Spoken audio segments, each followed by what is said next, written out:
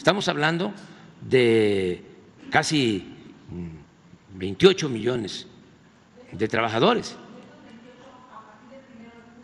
¿Cuántos empezarían a beneficiar con esto? Ah, empiezan muy pocos, empiezan muy pocos, porque ahora van a ver, ¿sí?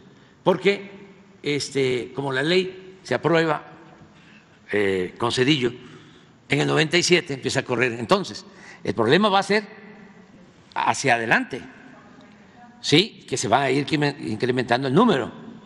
Entonces, pero ya este es un mecanismo que queda establecido para compensar a los eh, jubilados. Entonces la sorpresa fue que ayer van a la Corte a pedir que se declare inconstitucional el fondo de pensiones. O sea, yo no sé, de veras, este, eh, no los entiendo. Porque, a ver, dicen, se van a robar eh, las afores, te van a dejar sin pensiones. Además de que es falso, es un dinero de los trabajadores para los trabajadores. Es pensión para pensión.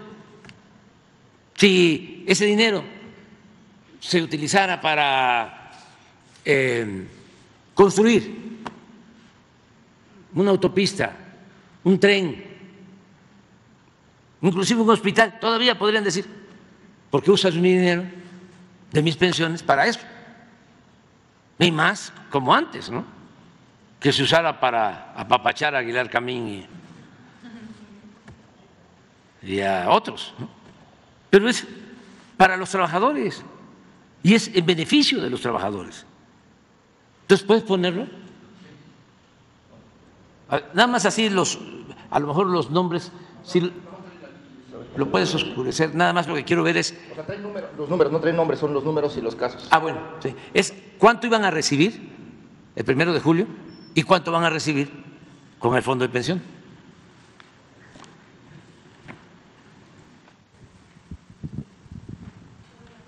Este es el último salario. ¿Sí?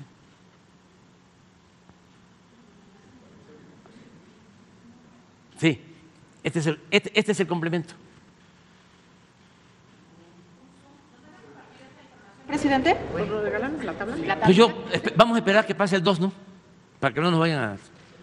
Sí, este, el, que, cuando sería el lunes se las entregamos. El lunes. Porque esto... Entonces, este es el complemento. Entonces, aquí está el complemento.